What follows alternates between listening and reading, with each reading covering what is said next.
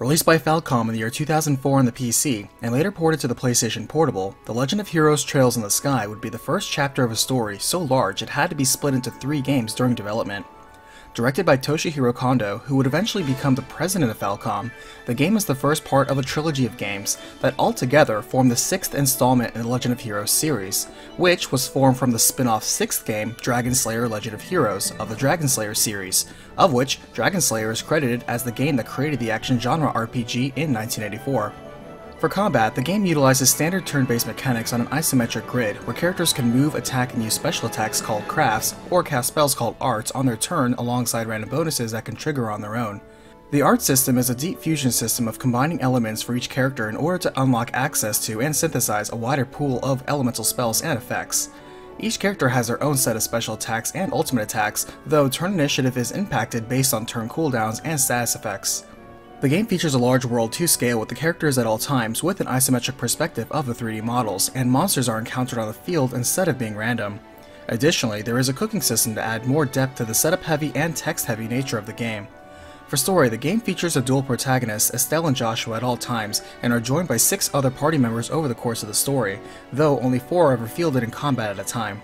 The story only gets larger from here, so let's cut it down to size with a recapitation. The game begins in the Kingdom of Liberl on the continent of Zemuria, where we meet a young girl named Estelle and her father Cassius brings home a wounded boy one night. The boy is defiantly angry at Cassius, but Estelle's imposing nature manages to quell him. Calming down, the boy introduces himself as Joshua, and as time passes, Cassius has adopted Joshua into his family, as both kids grow under the tutelage of Cassius. As Estelle and Joshua are now 16 years of age, the day has come when they finish up their training at the local guild and take the test into becoming bracers like their father. Their trainer is a woman named Scherazard, who briefly recaps the history of Liberl, in so much that 10 years ago the kingdom was invaded by the Erebonian Empire, but Liberl's advanced and prolific orbment technology allowed them to successfully defend and maintain their independence. Bracers themselves are recognized investigative and combat specialists who help their local regions maintain peace and stability through services from simple odd jobs to monster extermination. Their practical exam involves a simulated job posting and completion, and when successfully completed, they earn their appointment as junior bracers. Shara congratulates them, mentioning how she remembers when Estelle's father Cassius trained her as a junior bracer years ago, though Estelle seems aloof to why her father has earned such esteem from renowned bracers like Shara. At dinner that night, Cassius receives a letter that demands he leaves for business immediately, and they see him off. He leaves them a few unfinished jobs initially assigned to him, and so Estelle and Joshua launch their formal careers as junior bracers. In one task of monster extermination, Estelle learns Joshua is quite popular with the ladies, but never dates any of them, while Joshua notices his instincts leave him more cutthroat than he likes to admit. The next job involves delivering a rare specimen of Septium for the town mayor, and upon completion, they meet a transfer student of a nearby boarding school named Josette. The package is actually a present for the Queen for her upcoming 60th birthday, as appreciation for her post-war leadership. The last task involves escorting a couple of reporters doing a story on one of the strange towers nearby. As it turns out, nearby regions have their own similar towers, all built long ago when Liberl was founded, yet all strangely abandoned. On the roof, they find a strange ancient device, as well as an archaeologist named Professor Alba, who is studying these ruins, though they find it awfully suspicious that such an academic made it up this monster-infested tower unscathed. He mentions the Sept-Terrions, a powerful ancient race lost 1200 years ago, and the legend that a Sept-Terrion named Aureole lays dormant somewhere within Liberl. Upon completion of all three tasks, they barely have time to celebrate when the mayor comes in, exclaiming he's been robbed by the septium he was preparing as the queen's gift. Investigating the crime scene, they're able to identify Josette as a likely suspect, so Shara joins them for this mission. Finding her hideout in the woods, it turns out Josette is actually a bandit from the Capua family. Estelle and team find and suppress Josette's gang, succeeding in recovering the Septium and are about to arrest the group when the bandits' airship opens covering fire, allowing the rogues to escape for now. Dismayed at the setback, Scherazard personally commends them on a job well done with the investigation and recovery despite being bracers in training, and formally imparts a recommendation from the Rolent branch as a former junior bracer. It's explained to them that in order to be promoted to senior bracers, they must travel to every regional office in the kingdom and earn a recommendation, which is usually in recognition to a noteworthy achievement. There are four more regions to visit, so the road will be long. Their excitement for the future is interrupted as the phone rings, and the group learns the airliner their father was on disappeared mid-flight over the Bose region. Estelle has already made up her mind to go search for her father, so naturally Joshua follows, though with the army investigating the disappearance, all air traffic is cancelled, so they'll have to travel by foot. Shara intends to go as well, so the three head west to Bose. As they travel, they hear repeat warning not to get too close to the army investigation site, but still make it to the commercial city safely. They learn more details that General Morgan, an old war hero that has no love for the Bracer Guild, is heading the investigation and is complicating things for the Bracer operations in the area. As it so happens, the Mayor of Bose has requested the Bracer Guild to conduct their own independent investigation, so after registering themselves to this branch, Estelle, Joshua, and Shara eagerly accept the task. Going to meet General Morgan first, they travel to the Erebonian Liberl border fort, hiding their identity as Bracers, but find they just missed him. Waiting for his return, they encounter a peculiar well-dressed man from Erebonia that somehow instantly knows their bracers and seems to be more than a mere traveler. Later when meeting the general, he explains the investigation so far leads to the likelihood the missing airliner was hijacked, and in fact, a group called the Capua family has sent out a letter claiming ownership of the incident and demanding ransom. The Capua family are sky bandits mainly operating in the Bose region, headed by three siblings, one of whom the party already tangled with. Unfortunately, Estelle lets slip that they're bracers, and an enraged General Morgan runs them out, harshly criticizing their deceptive tactics to get information out of him. Shara shoots back, pointing out the uncooperative nature of the army has led to no results or capture the Sky Pirates either. Their fight is broken up by the carefree man from the bar, who sings them both a song that actually ends up calming down everyone. He introduces himself as Olivier and follows the group to Bose, where they report their findings and resume their search for the missing airliner. Following a lead, they pass by a gruff bracer named Agate, discover an abandoned mine, and finding their missing airliner hidden away in a quarry. Confronting Kyle of the Capua family, he drops that he was expecting the army at a later time, and after getting beaten in a fight, he drops a smokescreen and gets away yet again. Investigating the airliner left behind, they find the entire thing was cleaned out of cargo and passengers, likely already taken to the bandits' headquarters. Given that they're sky bandits, it seems strange they didn't take the entire ship with them, though they figure it likely means their true hideout is somewhere unique that can only accommodate their smaller aircraft. At this time, an army patrol with General Morgan in tow conveniently comes in right after them and accuses them of conspiring with the Sky Bandits, taking them all under arrest. In jail, Joshua remembers what Kyle said and how it likely means there is a mole in the army, and strangely enough, Olivier is also in jail with them in the adjacent cell. The mayor of Bose helps them out after informing the general they are the children of Cassius Bright, for as it turns out, Cassius long served with the general before he became a bracer, and the two were good colleagues, though he still doesn't approve of the Bracer Guild. The mayor arranges for Olivier to be released as well, and in return render aid to the group in the investigation of what is now a string of robberies in town. They encounter a courteous officer in black named Colonel Richard, who wishes for the army and bracers to work together, and is currently leading the Royal Intelligence Division also conducting their own investigations. Estelle and group follow clues and sightings until they find themselves tailing both Josette and Kyle into a meeting with a masked soldier who informs them about the army and Queen's movements and actions. Shara gets the idea to sabotage the airship the bandits came in on, though Olivier has an even better plan to stow away and let the bandits take them to their hideout. Within, the group causes havoc, knocking out grunts and securing the lost passengers, only to be shocked to see their father isn't among them. Rather, they learn Cassius disembarked the ship right before they lifted off, so he was never kidnapped to begin with, but it raises a new question of what he's doing and where.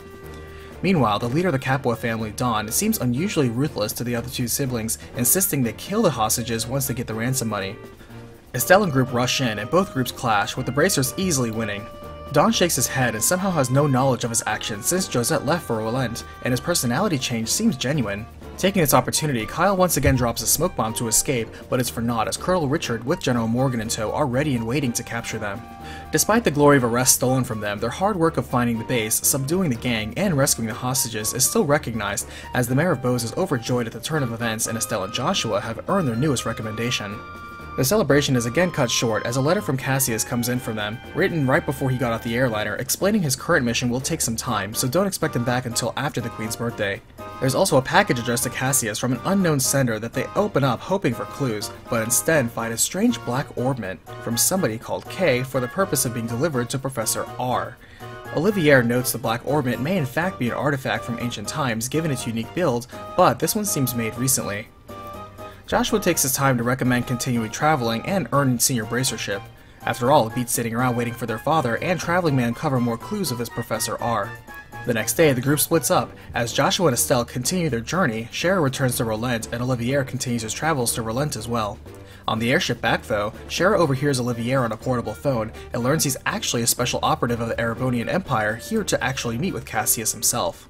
Back with Estelle and Joshua, their next goal is the Rouen region, and as they hike the seaside route over there, they stop at a small village and run into a girl from the Royal Academy named Chloe, who's searching for a troublemaking orphan.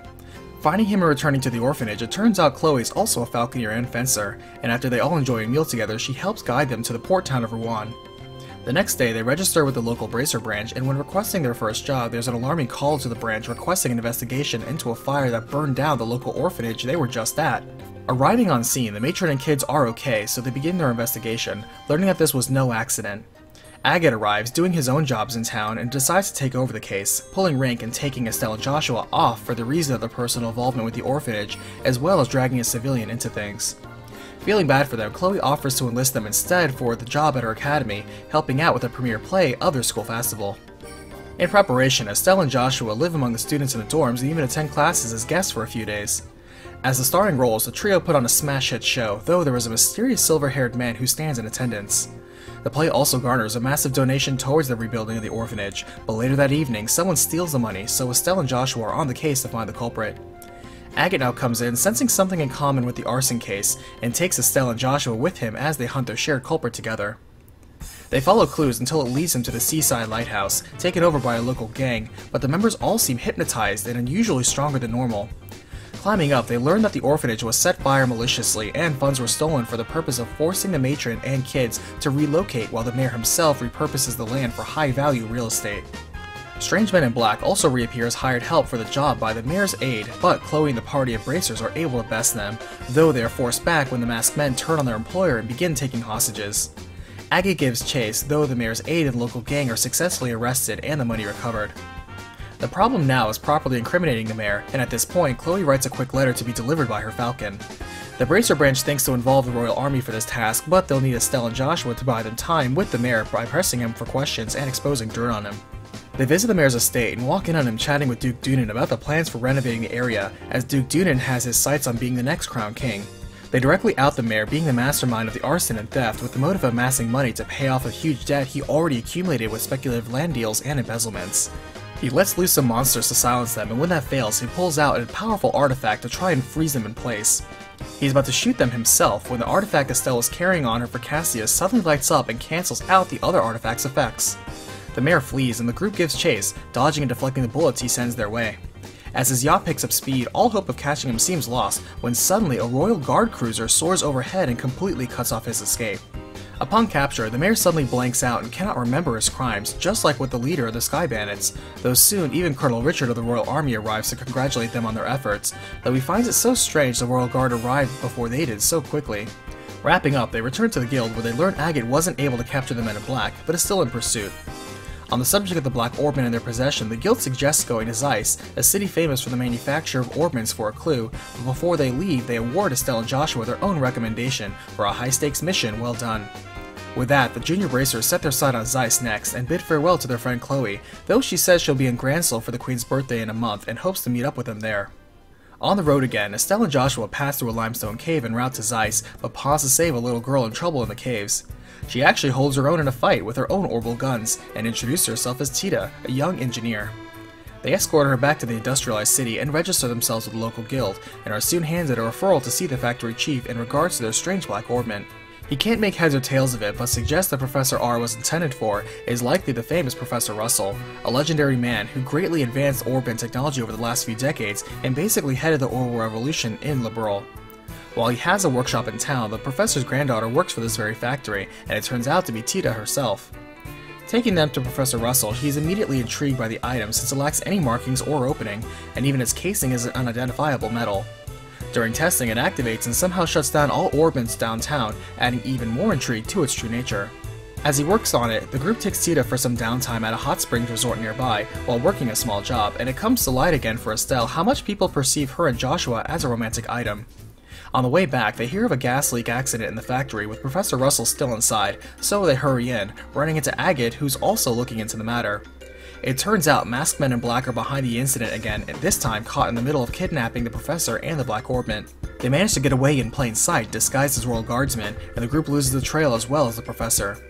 Soon after, the Royal Intelligence Division comes in, filing the entire ordeal as terrorism and starting their own internal investigation. They conveniently run into Professor Alba again, who reports he saw some suspicious people dressed as guardsmen in the local ruins he was researching himself, so the party now has a firm lead. As they climb yet another ancient tower, Agate also notes these guys are somehow able to train and command monsters in a way he's never seen before. Confronting the men in black again, they don't spot the red mask leader among them, so they clean up the rest. The tide turns against them when the assailants pull out their own airship, and Agate saves Tita, who blew their window to get the professor, and results in the kidnappers getting away again and Agate being poisoned. They run into a large traveler from the east named Zane who offers to help move Agate, as it turns out he too is a bracer from the neighboring Republic of Calvard. He's on his way to Grancel, but chooses to accompany them retrieving an antidote herb from within a dangerous monster den. With Agate out of danger, Zane continues on his trip, and the rest of the group learns the airship the men in Black got away in was caught on film right above a Royal Army installation. Though the matter should be handled delicately, they provoke a response by going to the fortress in the picture and asking some questions, only to find the soldiers in the base acting very shifty. To clinch things, they see the same orbital shutdown phenomenon affect the base like they saw before, meaning for some reason the professor is being held captive here in this Royal Army fort. When they return to the guild, Agate is back on his feet and raring to go sneak into the fort and break out the professor, but there's a major problem. There is an explicit non-intervention clause between the Bracer Guild and Royal Army, in which Bracers have no sovereignty in regards to national figures or military, so they couldn't arrest a politician or anyone in the army even if they witness a crime. However, there is a loophole. As the Bracers are an organization of the people for the people, they may intervene to protect civilians, and since the professor is a civilian, they may accept a request to rescue just him. The factory chief is more than willing to support, so Estelle, Joshua, and Agate are deployed on this rescue mission. Thanks to Tita's tech support, they're able to infiltrate at night and confirm the men in black are likely special covert ops units in the military. Sneaking around, they're surprised to find Colonel Richard is actually the one behind everything, including holding the professor and stealing the Black Orbment, which he calls the Gospel. After he leaves the base, the group is quick to knock out some guards and rescue the professor, but the alarm rings out, so escape is now more of a challenge. Major Sid of the base sneaks them away, exposing that Colonel Richard has the Royal Armed Forces under his thumb with the Intelligence Division, and has even imprisoned the imposing General Morgan. Richard is currently taking advantage of the weakness in the infrastructure of the military, as well as common corruption, and now moves to frame the Imperial Guardsmen for treason on false charges. Sid can't do much to help that, but will help them escape for now, leading them out with a secret passageway. Agate now moves to hide the professor and Tita somewhere else safely, as the army knows his face very well, but not so much Estelle's and Joshua's. The professor now reveals the gospel originally came from the intelligence division, was stolen from them, and they found it again when the professor caused a blackout with it earlier, hence the kidnapping. He wants them now to take the gospel, go to the Queen in Grancel, and warn her personally of Colonel Richard's plot. Parting ways, the two groups now head off on their own, while at the same time we see a royal guardsman escaping with Chloe, and now holding off men in black while Chloe hurries to Grancel, but even her escape is cut off by Colonel Richard himself. Back in town, Estelle and Joshua are preparing to embark for Grancel, but before that, for the exceptional feat of breaking the professor out of a secure military compound, they are awarded their own recommendation from this branch. On the road again, they hear about a fighting tournament, but are about to be detained by the army as all bracers are currently under suspicion. Conveniently again, Professor Alba happens to be here and covers for them, in return for helping him out earlier. Making it to the capital city of Grancel, they register with the branch and get right into business, as the branch itself still has no news on Cassius's whereabouts, and pressure from Colonel Richard means getting to the Queen won't be straightforward. Pretending to be tourists, they approach the castle and learn that the Queen is purportedly ill and the royal guardsmen have been removed, and while Duke Dunan is next in line to be king, he's so unreliable that all administration has been performed by Colonel Richard instead. With no way to get inside for now, they decide to sit in on the fighting tournament, observing that their friend Zane is participating as well.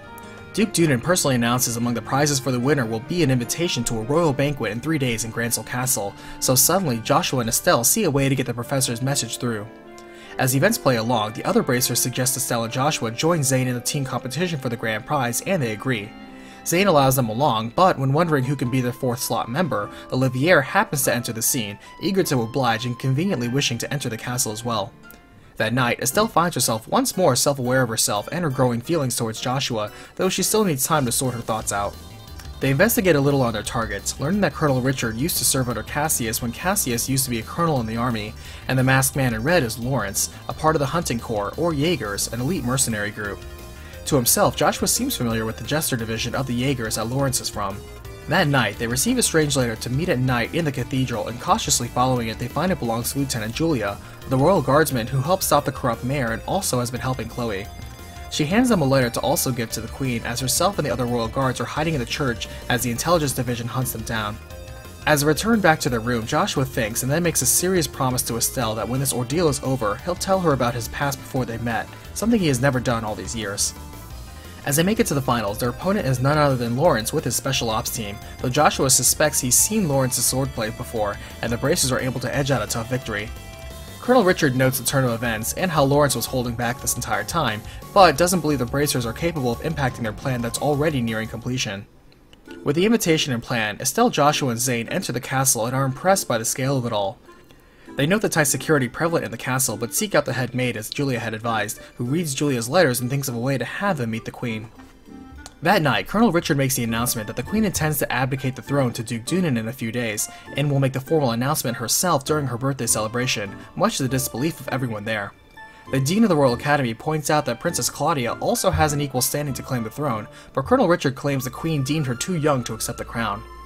After dinner, the head maid has Estelle and Joshua dress up as maids in order to sneak them next to the Queen, and the two of them finally get to meet Queen Alicia face to face. She listens to their message from Professor Russell and shares that some time ago there was a strange orbital reaction from deep underground Grancel that the professor privately investigated, yet Colonel Richard should never have learned of. She knows their father Cassius personally, as he was a friend to her late son and played a pivotal role in the war as well as helping her with missions from time to time even today. Evidently, he was the officer who planned a successful counteroffensive against the Erebonians when they were completely surrounded and outnumbered. Unfortunately, Estelle's mother was a casualty of the war when she sacrificed herself to save Estelle from a destroyed clock tower in Rolent during the fighting, which shook Cassius so hard he retired from the military and instead became a bracer to be closer to home. Bringing things to the present, she asks them to rescue those who were captured by the Intelligence Division, especially Princess Claudia, whom she originally backed as a successor to the throne, which is really what started the coup d'etat plot by Colonel Richard to begin with.